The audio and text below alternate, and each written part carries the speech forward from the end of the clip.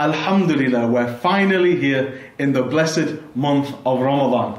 On behalf of IlmFeed, I'd like to share some tips on how a positive attitude will allow you to get the most out of this blessed month.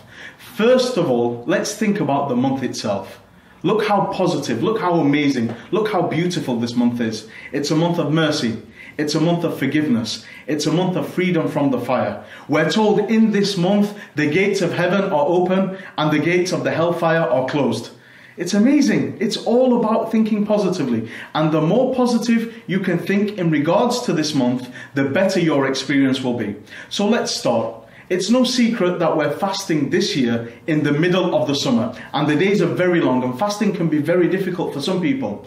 Ramadan is not about difficulty. Allah tells us in the Quran, يُرِيدُ اللَّهُ بِكُمُ الْيُسْرَ that Allah intends ease for you, facilitation, not difficulty. God does not want any difficulty upon you during this month of Ramadan. And that's why if you're ill, or if you're traveling, or if you have another genuine reason, there is no obligation on you to fast, and you can make your fasting up after the month of Ramadan at a time which is suitable.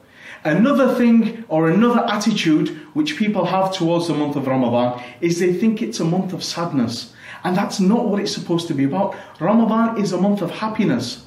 It's a month of people coming together and breaking their fast communally. It's a month where you discover your own potential and find out how amazing you are and what you as a human being are really capable of doing.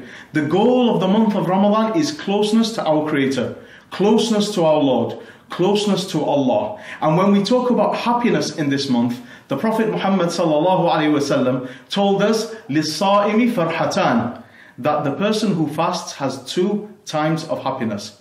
The first when they break their fast, and the second when they meet their Lord.